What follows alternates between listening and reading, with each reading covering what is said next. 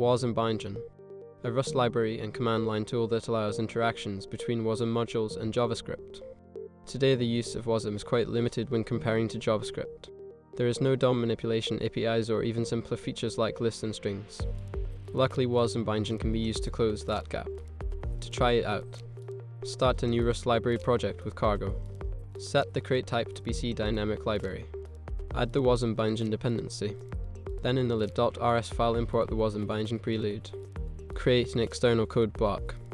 Annotate it with the WASM bindgen derived macro. Here we can define JavaScript bindings we will want to call from our Rust code. So let's add a binding to the JavaScript alert function.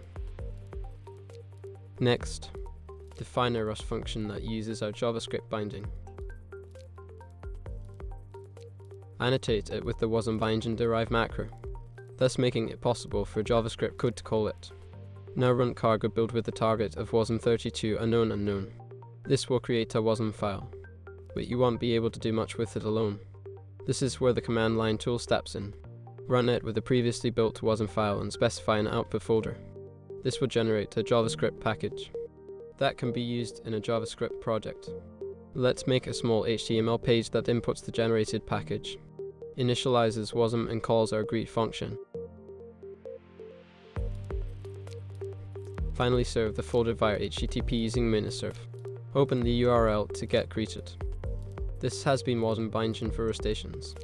If you want to see more videos like this, please like and subscribe. Thanks for watching.